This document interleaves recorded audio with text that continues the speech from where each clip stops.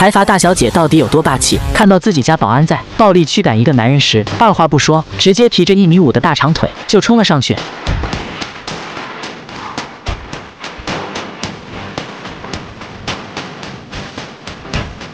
随手抢了一个倒霉鬼的车，冲着保安和男人就撞了过去，差点闹出了人命。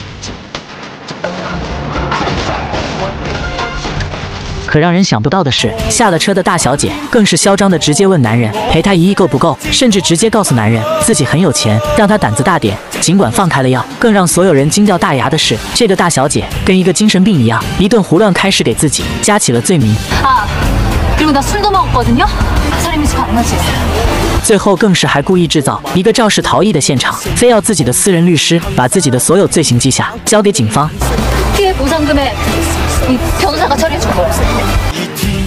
这一顿神操作下来，直接把在场所有人都整懵了。可就算到了警局，这大小姐不仅没有收敛，反而更加疯狂。明明检查结果都显示她体内不含酒精，这个大小姐还一口咬死，就是喝了，还说喝的是二锅头，甚至连她给自己加的蓄意谋杀、肇事逃逸这些重罪，她都恨不得按着警察的手火速给她定罪。这下把这个有着四十年警龄的老警察直接弄得不会了。就在他不知道咋办时，这个大小姐倒是急了，她直接一个电话打给财团，以自己所有罪名需要和解费为理。由给男人账上转去了十亿和解金。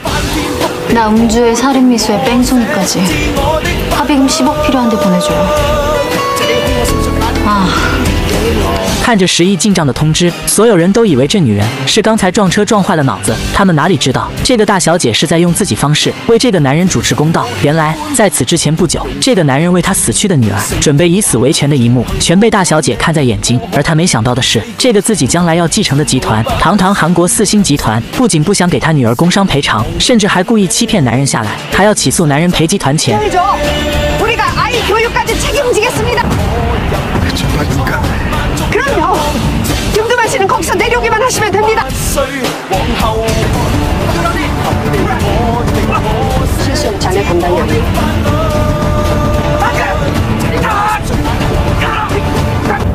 这样毫无底线的做法，彻底激怒了大小姐。于是她就用这种让集团找不到任何理由的方式，给这个男人主持了公道。